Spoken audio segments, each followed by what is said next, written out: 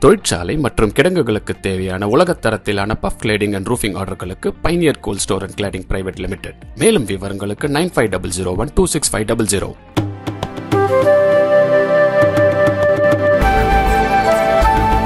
வணக்கம் நண்பர்களே.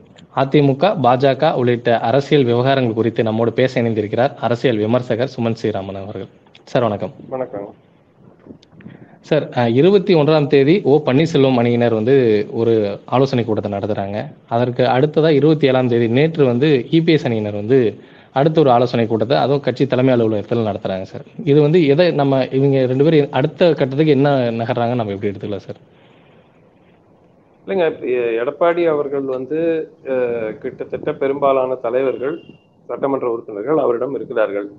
ஓபிஎஸ் வந்து ஒரு மாவட்ட செயலாளர்கள் அறிவிச்சிருக்கிறாரு. அது தவிர பதினைந்தாயிரம் ஆபீஸ் பேரர்ஸ் அறிவிச்சிருக்கிறாரு. ஆனாலும் அவர் மக்களிடையே அவருக்கு அந்த அணிக்கு செல்வாக்கு இருக்கிறது என்பதை நிரூபிக்க வேண்டிய ஒரு கட்டாயத்தில் இருக்கிறார்.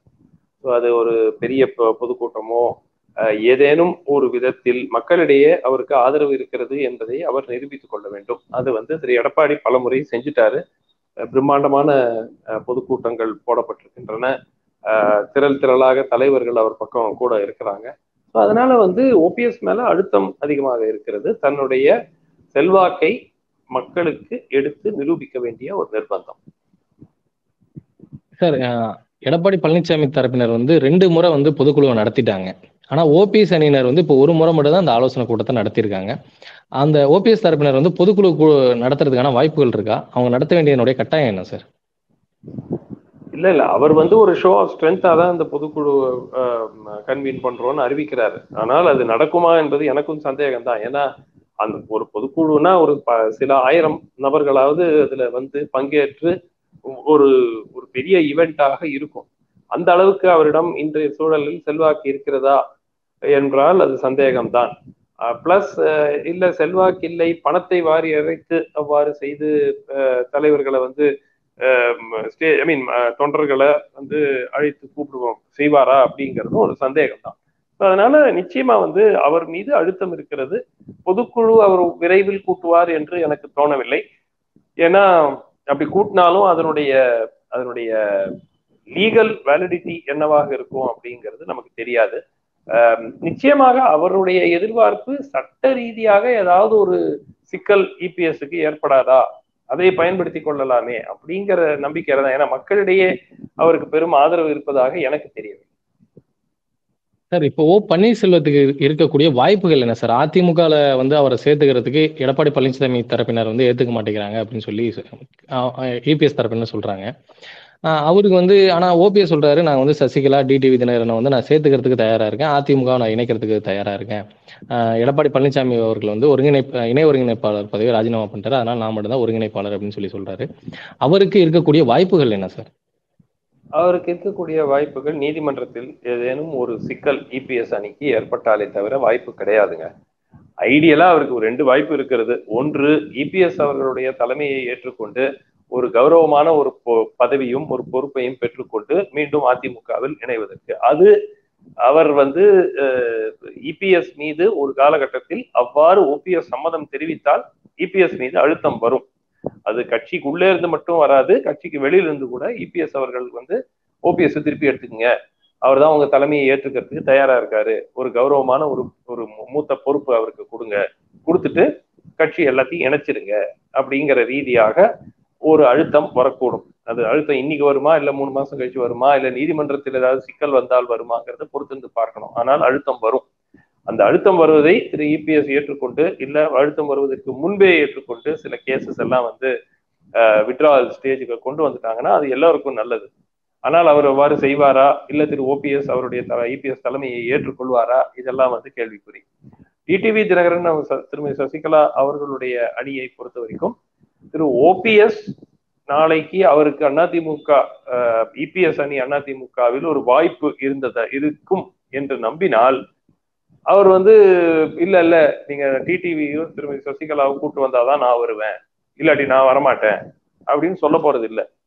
அவர் அவருடைய இன்ட்ரெஸ்ட் செல்ஃப் இன்ட்ரெஸ்ட் அவருக்கு எது பொலிட்டிக்கலி அட்வான்டேஜோ அட்வான்டேஜஸோ அதான் அவர் பார்ப்பாரே தவிர அதிமுகவை இணைத்து கட்சி எல்லாம் ஒன்று ஒருங்கிணைத்து நாம் வந்து திமுகவை எதிர்கொள்ள வேண்டும் அப்படிங்கிற ரீதியா அவர் அவர் பாக்குற மாதிரி எனக்கு தெரியல. சோ திருமதி சசிகலா அவர்களுக்கும் டிடிவி தினகரன் அவர்களுக்கும் அவர்களுடைய வாய்ப்புகள் குறைவு. வேற திரு ஓபிஎஸ் வந்து மீண்டும் கட்சிக்குள் ப்ரொவைடட் இபிஎஸ் உடைய தலைமையை அவர் ஏற்றுக்கொண்டு ஒரு கௌரவமான பொறுப்பு அவருக்கு வழங்கப்பட்டால் இபிஎஸ் மீது அழுத்தம் பாஜகவிடம் இருந்தோ அல்லது கட்சி அதிமுக சில தலைவர்களிடம் இருந்தோ வரக்கூடிய ஒரு சுச்சுவேஷன் உருவாகி இருக்கு அது வந்து நிச்சயமா இன்னைக்கு இல்ல முழுமையா இல்லைன்னா கூட ஒரு மூன்று நான்கு மாதங்களில் வரும். சார் ஓபிஎஸ் அதிமுகவுல சேர்த்துக்கவே கூடாதுன்னு இபிஎஸ் பிடிவாதம் பிடிக்கிறதுக்கு என்ன சார் முக்கியமான காரணம்? இல்லைங்க அவர் ஓபிஎஸ் வந்து தெளிவாக நான் தான் தலைவர் நான் தான் தலைவர் நான் தான் ஒருங்கிணைப்பாளர் தான் ஒன்றும் பேசிட்டு இருக்காரு. அவர் வந்து இபிஎஸ் தலைமையை நான் ஏற்று செயல்படக்கூடிய ஒரு நான் ஏற்றுக்கொள்கிறேன். அதே மாதிரி எல்லாரும் ஒன்றா செயல்பட்டு கட்சியை வலுவாக்கணுங்கிற லாங்குவேஜ்ல அவர் பேசல. அவர் நாங்கள் தான் நான் தான் தலைவருங்கிறாரு. அது மக்கள் அந்த மாதிரி பார்க்கல பெரும்பாலான தொண்டர்களும் அந்த மாதிரி பார்க்குற மாதிரி எனக்கு தெரியல. ஸோ அது எப்படி இபிஎஸ் ஏற்றுப்பாரு இவர் வந்து உங்கள் தலைமையை ஏற்று நாம் ரெண்டு பேரும் ஒன்றாக பணிபுரிந்து கட்சியை வளர்ப்போம்ங்கிற மாதிரி சொல்லலையே அவரு.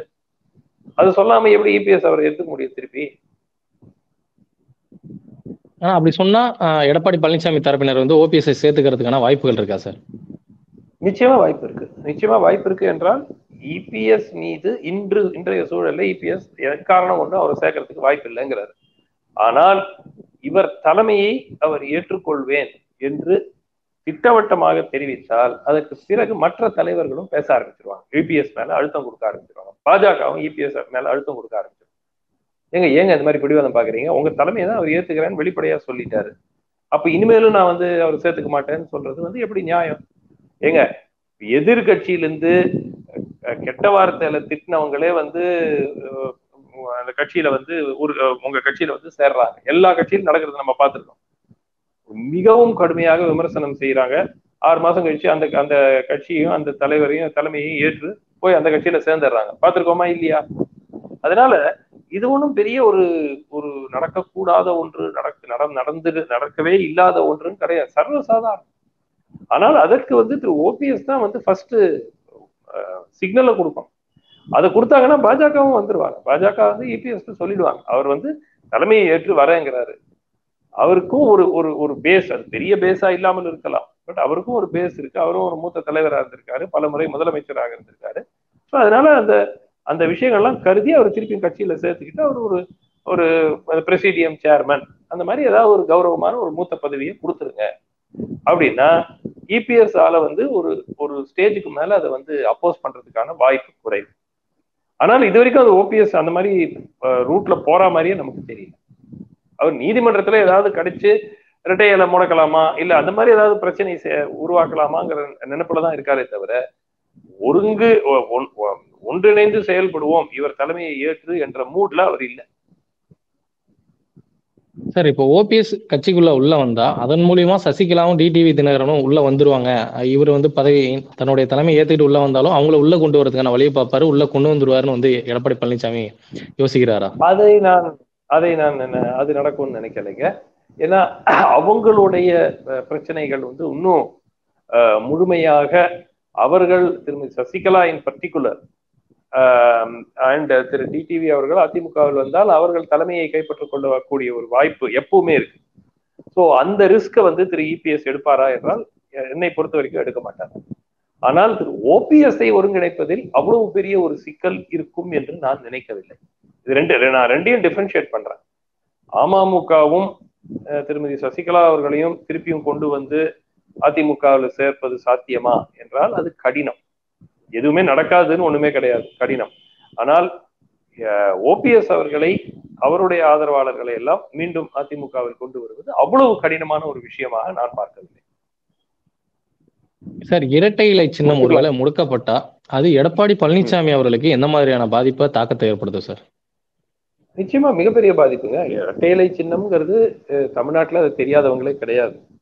அதனால அதிமுக உடைய ரொம்ப ஸ்ட்ராங் அசோசியேஷனே அந்த இரட்டை இலை தான்.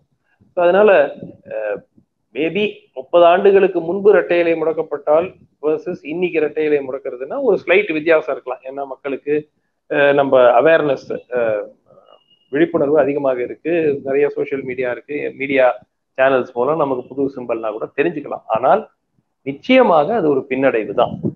ஆஹ் அதனால அந்த அது வந்து தேர்தல் ஆணையம் வந்து அது பாஜகவினுடைய ஒரு எக்ஸ்டென்ஷனா தான் இன்று தேர்தல் ஆணையம் பார்க்கப்படுகிறது. மத்திய அரசியல் ஆளுங்கட்சியினுடைய ஒரு எக்ஸ்டென்ஷனா தான் பாக்குறாங்க வருந்தத்தக்க நிலைமை ஆனால் அப்படிதான் மக்கள் பாக்குறாங்க அதை வந்து பயன்படுத்தி கொண்டு இரட்டை இலையை முடக்கினால் நிச்சயமா அது ஒரு ஒரு பிரம்மாஸ்திரமாக கூட வைத்துக் கொள்ளலாம். எப்பாவது அதிமுக ரொம்ப எந்த வழிக்கும் வரலைன்னாக்க இரட்டை இலை முடக்கிறதுக்கு ஒரு தேர்தல் ஆணையம் இருக்கவே இருக்கிறாங்க. அது ஏதாவது ஒரு ஆர்டர் ஒன்று பாஸ் பண்ணி அதுக்கப்புறம் அதை ரிலீஸ் பண்றதுக்கு ஒரு மூணு வருஷம் நாலு வருஷம் ஆகும். ஸோ இந்த மாதிரி விஷயங்கள் எல்லாம் நடப்பதற்கான வாய்ப்பு இருக்கிறது. அது வந்து நடக்கும்னு நம்ம சொல்ல முடியாது. இரட்டை இலை சின்னத்தை முடக்கினா எடப்பாடி பழனிசாமி அவர்கள் வந்து பாஜக கூட்டணியிலிருந்து வெளியில வந்து பாஜக வேண்டுமென்றே வந்து இரட்டை இலை சின்னத்தை முடக்கிருச்சு அதிமுக முடக்க நினைக்குதுன்னு ஒரு பிரச்சாரத்தை முன்னெடுத்து அது பாஜகவுக்கு பாதிப்பு ஏற்படுத்தாதா? பாஜகவுக்கு பாதிப்பு ஏற்படுத்தும். ஆனா எடப்பாடிக்கும் பெரிய ஒரு ஆதரவு தேடி தராது. உங்களுக்கு புரிய புரிய வேண்டிய ஒன்று திமுக காங்கிரஸ் விசிகே சிபிஐ சிபிஎம் மதிமுக கூட்டணி ஒரு வலுவான கூட்டணி. அவர்களுக்கு நாற்பது நாற்பத்தி மூன்று சதவீத வாக்கு வங்கி இருக்கிறது. நாற்பது சதவீதம் குறைந்தது இருக்கிறது. அவர்களை தோற்கடிக்க வேண்டும் என்றால் எல்லா எதிர்கட்சிகளும் ஒன்றாக இணைந்தால்தான் முடியும். நீங்க நாளைக்கு எடப்பாடி வந்து ஒரு தர்ம யுத்தம் அவர் ஸ்டைல்ல தர்ம யுத்தம் பண்ணிட்டு பாஜக என்னை எங்களை வேண்டும் என்றே வஞ்சிக்கிறதுன்னு சொல்லிட்டு மக்கள்கிட்ட போனா கூட கொஞ்சம் ஆதரவு கூடலாம். ஆனால் பாஜக மேல கொஞ்சம் கோபம் ஜாஸ்தி ஆகலாம். ஆனால் திமுகவை தோற்கடிக்கும் அளவுக்கு அது வருமா என்றால் இல்லை. அதுதான் பாயிண்ட் திமுக கூட்டணியை தோற்கடிக்கிற அளவுக்கு அந்த கோபம் வருமா? ஆதரவு கிடைக்குமா? திரு எடப்பாடிக்கு தனியா? அதுவும் பாஜகவினுடைய ஆதரவு இல்லாமல் தனித்து போட்டியிடும் போது இல்ல சிறு சிறு கட்சிகளை வைத்துக் கொண்டு போட்டியிடும் போது கூட்டணியில நிச்சயமா ஒரு வாய்ப்பே கிடையாது. அதனால இது எல்லோருக்கும் தெரிந்த ஒன்று. இரு அதிமுக வலுவான ஒரு நிலை அடைய வேண்டும். பாஜகவுடன் கூட்டணி அமைத்து அடுத்த தேர்தலை சந்திக்க வேண்டும். அப்பதான் அவர்கள் திமுக கூட்டணியை வீழ்த்தக்கூடிய ஒரு சூழல் ஏற்படும். இல்லைன்னா கிட்டத்தட்ட ரெண்டாயிரத்தி பத்தொன்பது ரிசல்ட்டுல ஒரு மைல்டு இன்னும் ரெண்டு சீட் மூணு சீட் வித்தியாசம் இருக்கலாம். ஆனால் பெரிய வித்தியாசம் இருக்கு இல்லாமல் மீண்டும் அதே ரிப்பீட் தான் ஆகும். சார் இறுதி கேள்வி சார். ஒருவேளை இரண்டாயிரத்தி இருபத்தி நான்கு பாராளுமன்ற தேர்தலில் அதிமுக வந்து இரட்டை இலக்கியங்கள்ல வெற்றி பெறலைன்னா அதனுடைய தாக்கம் இரண்டாயிரத்தி இருபத்தி ஆறுல எப்படி இருக்கும் சார்? ஒண்ணுமே சொல்ல முடியாதுங்க. எப்பவுமே நம்ம பார்த்திருக்கோம் பாராளுமன்ற தேர்தலில் வர முடிவுகளுக்கும் சட்டமன்ற தேர்தல்களில் வர முடிவுகளுக்கும் ஒரு தொடர்பு ஆயிரத்தி எம்ஜிஆர் காலத்திலிருந்து இல்லை. எம்ஜிஆர் உங்களுக்கு தெரியும். ஆயிரத்தி தொள்ளாயிரத்தி எண்பதாம் ஆண்டில் என்ன நடந்தது? எப்படி பாராளுமன்ற தேர்தலில் மிகப்பெரிய தோல்வி அடைந்தார்? அதற்கு பிறகு ஒரு பிரம்மாண்ட சில மூன்று மாத காலத்துக்குள் ஒரு பிரம்மாண்ட வெற்றி பெற்றார் திரு எம்ஜிஆர் அவர்கள் அப்படிங்கிறது எல்லோருக்கும் தெரியும். அதனால அதே மாதிரி பலமுறை நம்ம பார்த்திருக்கோம். அதிமுகவுக்கு ஒரு சீட்டு கிடைக்கல. ஆனால் அதுக்கு பிறகு வந்து சட்டமன்ற தேர்தலில் அவங்க ஜெயிக்கிறாங்க. திமுகவுக்கு ஒரு சீட்டு கிடைக்கல. அதுக்கு பிறகு வர சட்டமன்ற தேர்தலில் அவங்க ஜெயிக்கிறாங்க. ஸோ அதனால இதையெல்லாம் வந்து நம்ம அஹ், பாராளுமன்ற தேர்தலுக்கும் சட்டமன்ற தேர்தலுக்கும் முடிச்சு போடுறது சரியாக வராது. பாராளுமன்ற தேர்தலை பொறுத்த வரைக்கும் அஹ், இந்த முறை ஒருங்கிணைந்த எதிர்க்கட்சிகள் அதாவது AIADMK plus BJP plus PMK plus மற்ற கட்சிகள் எல்லாம் ஒரு வலுவான கூட்டணி அமைத்து திமுக கூட்டணிக்கு எதிராக நின்றால் ஒரு ஈவன் கான்டெஸ்டாக இருக்கும். இந்த மாதிரி முப்பத்தி எட்டு ஒன்னு அந்த மாதிரி வருவதற்கான வாய்ப்பே கிடையாது. என்னுடைய கணிப்பு குறைந்தது ஒரு பதினைந்து இடங்களில் அந்த கூட்டணி பர்டிகுலரா குங்குமண்டலம் போன்ற இடங்களில் தென் மாவட்டங்களில் வெற்றி பெறுவதற்கான வாய்ப்பு நிச்சயமாக அதிமுக பாஜக பாட்டாளி மக்கள் கட்சி எல்லோரும் இணைந்து போட்டியிட்டால் அவர்களுக்கு நிச்சயமாக maybe even more than half the seats வெற்றி பெறுவதற்கான வாய்ப்பு உறுதியாக இருக்கிறது. சார் இவ்வளவு நேரம் கருத்துக்களை எங்களோட பயன்பெற்றதுக்கு ரொம்ப நன்றிங்க சார். நன்றி நன்றி.